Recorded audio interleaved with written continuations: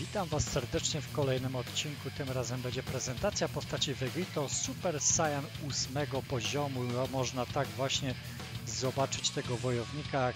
Widzicie, właśnie tą całą, ten sześcian uderzenia, zdrowie, ki, kondycja, ataki, siła jest poza tym sześcianem, czyli na pewno będzie to potężny wojownik. Ja już wiele razy mówiłem właśnie na moim kanale, że właśnie Super Saiyan 8 poziomu ci wojownicy posiadają naprawdę potężną energię, także zaczynamy od prezentacji właśnie tej postaci. や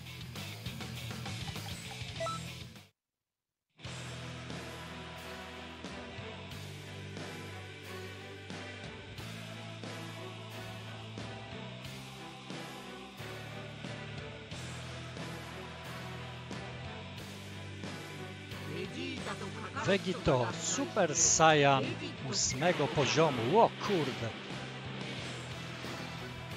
Bardzo szybko się ta postać porusza, naprawdę jest bardzo szybka. Zobaczymy teraz uderzenie. Kolejne. Bardzo mocne uderzenie. Także jest to szybciutka postać. Naprawdę jedna chyba z moich ulubionych strzał chaosu. Bardzo ładne techniki. Tutaj wykonuje szybkie techniki Kamehame razy 10.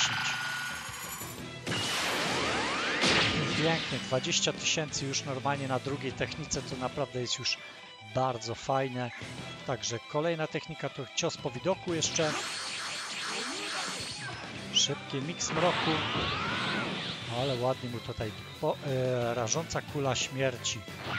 O, to, to już będzie naprawdę potężna technika. Bez niczego.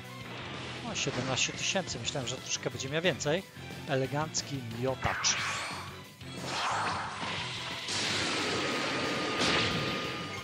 Szesnaście tysięcy, no ładnie. Kolejna technika, obrotowe ostrze. Taka technika. I zobaczymy teraz właśnie tą z właśnie Kaioken razy 20. Piękna, taka czerwona właśnie aura. Jeszcze zobaczymy, czy... Nie, tutaj ma tylko Kaiokena, tak. Kaioken razy 20 i zobaczymy teraz tą ostateczną technikę, czyli rażąca kula śmierci.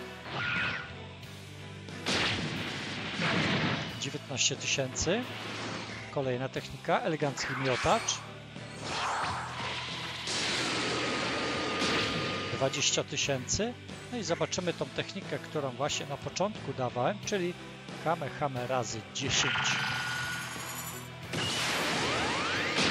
24 tysiące. Jednak tutaj patrząc się właśnie na tą postać, to naprawdę sporo. Zobaczymy, czy ma rozbudowanie, jeżeli chodzi o...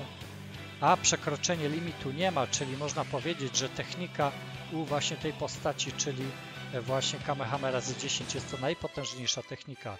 I tak jak mówię, jeżeli Wam się podobała ta postać, bo mnie naprawdę się podobała, możecie zasubskrybować, dać łapkę w górę. Także do zobaczenia do następnego odcinka, bo już w następnym odcinku będzie prezentacja postaci zupełnie nowego wojownika. Także zaczynamy.